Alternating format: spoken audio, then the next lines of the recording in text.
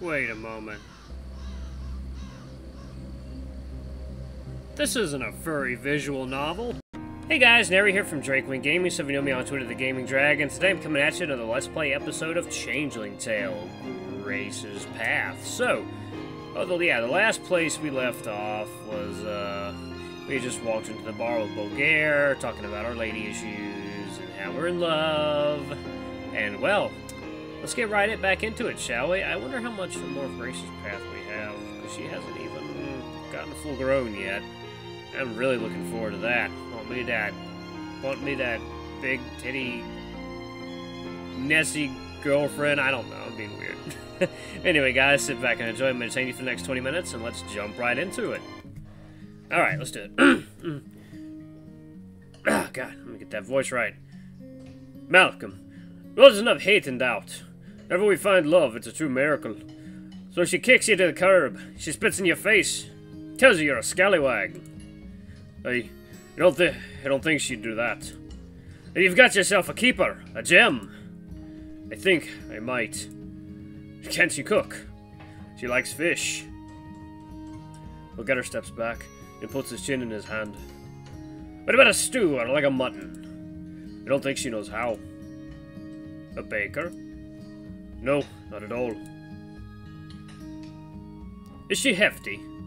I can't tell if he's teasing me or trying to deduce who the woman is. No, well, a bit. Not in a bad way. She's voluptuous. Bulgar nods in approval. Nice! Because you lug barrels, push a plow, stack rocks. Actually, I imagine so. Well, now we're talking. She sounds like a prize like a prize heifer. Oh no, she's a whole other breed. Aren't they all? oh man. Bulgarin looks off wistfully, and I'm tempted to ask what's on his mind. Women, obviously. You look like you're speaking from experience. Oh, this isn't about me, lad. I think you're on the right track. Now finish your beer and go get 'em. Bulgaria may not have the right answer, but you won't find it in your pint. Yeah, Bulgaria's awesome. With a wink, Bulgar picks up a tray full of empty bottles and glasses and retires to the back room. I do as I'm told, but I nurse this last drink, taking my time to mull over my feelings and his overenthusiastic advice. Is there really any way I could be? Falling in love. If I strip away the spectacle of her transformation, the urgency of our intimate rendezvous, and the focus on the woman I've only just started to get to know, do I really love Grace McLeod? Is this what love feels like? The pain of parting, of wanting to be with someone all the time, precious time we spend together bring, bringing me more joy than I've ever felt. And the pain of knowing you can't be all that person needs. Yeah, it's love. Another feeling interrupts my thoughts. I sense, sense a pair of eyes on me. Who, who may that be? Is that the... the monkey man? nope. Oh, it's her. Okay. I'm sorry. I didn't mean to interrupt. it is I who should be apologizing. I didn't even notice you come in. The alcohol has loosened my tongue. Effie's face drops, and I regret my choice of words. Oh, but you did seem lost in thought. I felt lost quite a lot these past few days. Me too. We share a wan smile, and I pull out a chair next to me. Care to join me? A pint of ale might not help us find our way, but it'll help us forget where we're headed. She's cute. I wonder if you can get with her. Very interested in that medallion. She breaks into a melodic laugh, one I enjoy hearing. But instead of sitting beside me, she goes over to the piano, fingering its ivory keys silently. No, I'm not here for a drink.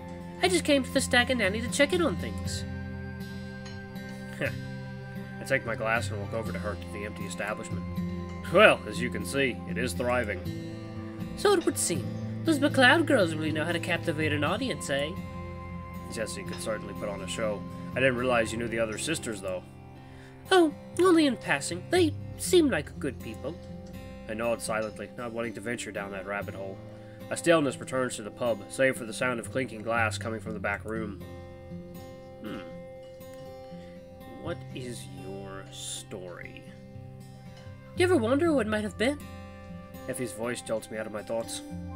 How do you mean? Like, what if that starlet here had stayed? I try to picture the pub filled once again with the flapper and her admirers. I wonder where I would be in that crowd, if at all. It's difficult to imagine.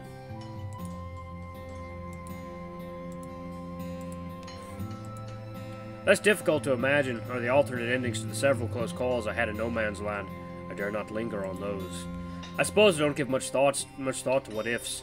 I take what's given to me and move on. Effie's eyes fall to the piano and she speaks softly. Which for you'll no go past ye? Hearing those words from my dream once again sends a shiver down my spine. Uh, pardon? That's what my parents would say when I was very young, I think. It was a long time ago. I wish I could better heed their words. Best not to dwell on that which has already transpired, if you can help it. If only I could take my own advice. Sometimes I can't help it, though. Nor can I. Just thinking on it, several memories come to mind. Come to mind unbidden. Ones that I'd rather forget. I sympathize with the poor girl. Is that what has you feeling lost? She looks at me, mortified. I'm, I'm sorry, I didn't mean to trouble you with my own problems. Think, think nothing of it. It is a pub if not a place to commiserate. And Bulgaire makes a great counselor, too. At least he thinks he does. Effie gives me a knowing wink, and her expression softens. What about you? mm, wow, wow, okay. Your voice is so deep all of a sudden. What about you, Malcolm? What has you feeling lost? The question catches me off guard. I sense she, I sense she means the best, but I hesitate to respond because, truthfully, I'm already mentally ascending a mountain of advice from Bulgaire. In the middle of sorting out all my future is all. But you didn't want me to subject me to your. But you didn't. But you didn't want me to. Blah. But you didn't want to subject me to your problems, so I won't subject you to mine. Of course, as you wish. She seems to be debating whether or not to continue. About what we were talking about earlier, about what ifs. Her face becomes quite earnest. If there's anything I've learned, Malcolm, it's this. Don't let an opportunity pass you by. The perfect day never comes. You have to make every day the best it can be. At first, I take her words at face value. Wise words, yes, but still spoken by someone who doesn't know what I'm going through. But then I realize perhaps it's more than a platitude. Perhaps I've been approaching the question all wrong. Am I in love with Grace? What if that doesn't matter right now? Why dwell on the here and now when our future together could be so bright? Or so terrifying? I can't know what the future will hold. Maybe it's out of my hands anyway. All at once, things become very muddy again. Perhaps it's time to change the subject. Good advice. You know Bulgaire must be looking for a new starlet. There's an opportunity if I ever saw one. What do you mean? I mean, you should audition. Audition? Me? Of course. Seems like you're confident enough to take on any job. Plus, you've got a cheerful personality and a smile that'll win over any crowd. Effie's cheeks are suddenly red as poppy flowers. A woman like you can go places. Can you sing? Dance? I, I, I don't think. I mean, I should. Uh, I've got to go. She darts out of the pub before I can even say goodbye. Was it something I said? Ah, what an interesting girl. God, I hope we get to know more about her. I'm kind of. Oh. Oh, hello there. That's one unexpected surprise after another. There's someone I never expected to see at the Stag and Nanny. Marion! What are you doing here? Is everything alright? My first thought is that something must be wrong at the loch, but on a closer look, her concern seems to be directed at me. Who were you talking to? Her tone is abrupt. Um, well, am I being accused of something? For a brief chat with Effie? No one, really. No one, huh? You sounded very happy to see whoever this no one is, Malcolm. Is it anyone Grace knows? I decide to change. I Decide to change of subject It might be more effective than a defense. No, just an old friend. What brings you to the pub? Can I get you a drink?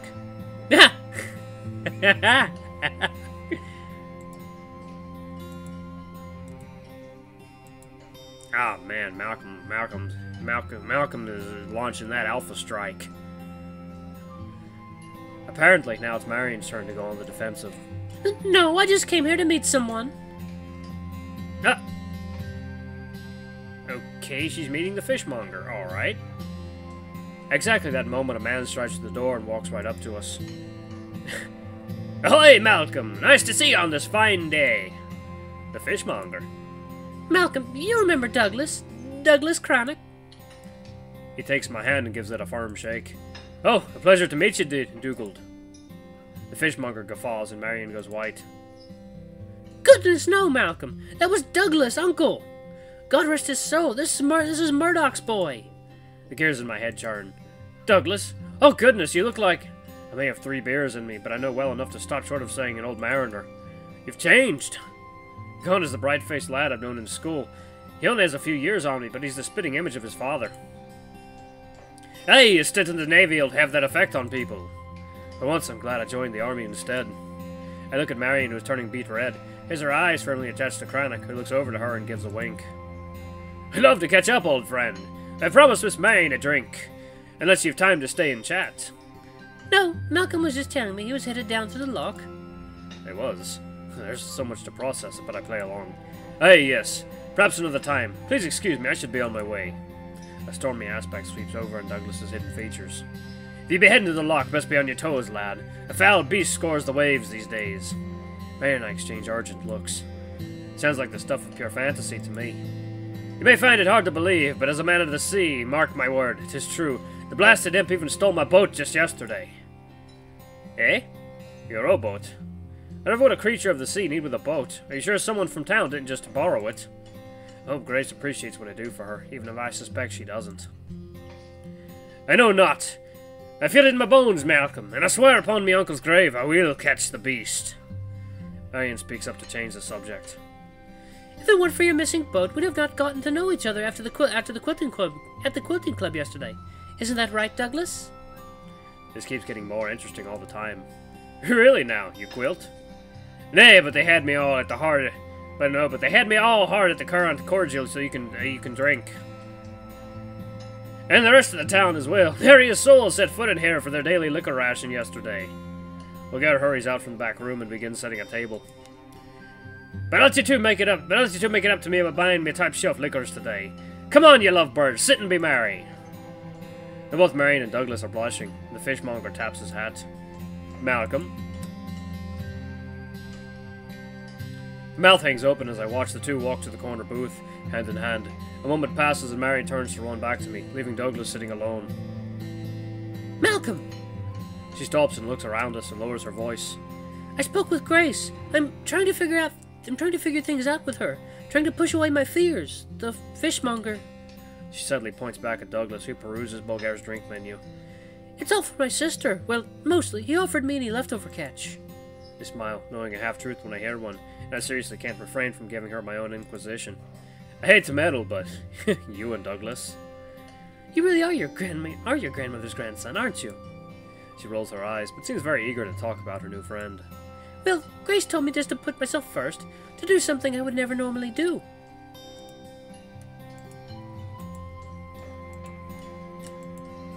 And you did. It's hard not to hide my surprise. I simply offered Douglas a taste of my homemade cheese. That would be hard to resist. Marion scuffles her feet a bit and looks to the ground. Grace has been very assertive lately, telling me my business.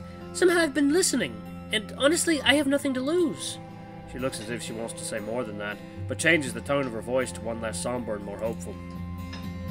Grace also spoke about you, but how much she cares for you. Really? I'm even more surprised. She has only good things to say about you. You see, when I thought you were speaking with another woman, my protective instinct kicked in, and I'll just say that Grace has made me believe that finding a partner isn't just about companionship, it's about having happiness. It's something I honestly don't believe she's had before. Have you? I. Oh my, I hope that wasn't too bold. It is. No, I haven't. She looks toward Douglas, and I can tell she wants to return to his side. At least, not yet. Go on, Marion. Enjoy your evening. Thank you, Malcolm. Thank you for a lot of things. Oh, look at that. Marion's got herself a very fuzzy boyfriend. Good lord, how does that man see? Outside, I take a huge inhale, absorbing the sense of old hay, damp air, and something burning in Bulgar's kitchen. The sense of home. Mmm. God. Honestly, I wish I lived in a place like this. I really do. Fresh air and ale do wonders for the mind. There's a lightness to my step as I make my way back to Hazel. Still, I walk cautiously along my route, imagining who I might run into next. Hmm. Sorry, Miss Hazel. That took a wee bit longer than I expected. She looks at me skeptically, as if wondering how I'd forgotten her. Oh, I can never forget about you, lass. I just got a little over my head. Indeed, my visit to the Stag and Nanny left me with lots more than I'd bargained for. New questions, a few surprises, plenty of advice. Any of it helpful? I laugh, wondering if I'm not bright, if I'm not right back where I've started. At least my headache is gone, and my path is clear. Let's get you back to the stable. Have a date with a certain foul beast. Surprised she didn't fucking headbutt you when you said that. Alright, I wonder how this is gonna go. The loch looms below me. Somewhere down there is Grace. I know I need to apologize to sort things out between us, but I still don't know what I ought to say. It doesn't matter, I tell myself. What's for you'll get no past you. Just say something, anything. But I know I owe her more than that. I need to set things straight between us, for both of our sakes. Bulgare's words resonate. Love will either last forever or be fleeting and memorable. What difference should it make if I just blindly dive in deep with Grace? So what if it doesn't work out or we both get hurt feelings? Hasn't that already happened? All's fair in love and war, right? Let out a sigh, knowing that just isn't true. Nothing is fair in war, and God only knows what's fair when it comes to love. I'm not sure if I want to find out. Does Grace even love me? There's no way she could be using me, could she? wise up, Malcolm. Of course she could. You're giving her more than a good time or two. You're fulfilling her wildest dreams. No matter how forthright she is, she's getting something out of this relationship that you can't comprehend. I hem and haw, trying to find a reason not to believe that. But I do comprehend. It's indescribable, intangible, and beautiful. It's everything Bulgare described. The way his eyes lighted lit up about his former flame. If you can't trust Bulgare, who can you trust? It's the look of joy and anticipation on Marion's face as she walked with Douglas. It's the impatience I felt speaking with Effie when I would rather be with Grace. It's the pit in my stomach urging me to return to the water to mend our wounds. I've never questioned beauty beyond the physical, wondered what I find attractive. I know what I'm told, what I see. Sink or swim. I suppose this is a this is, this is a pivotal one. Of course, I should have known what was happening. Been falling head over heels this whole time. I just took some help to it just took some help to see it.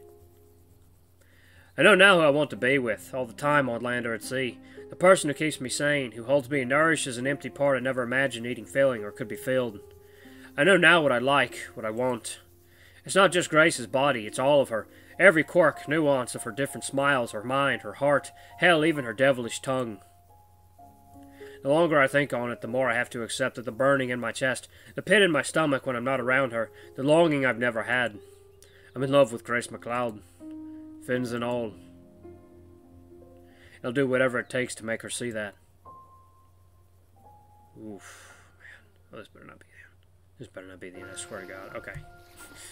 It's getting fucking good. It better not just cut to black.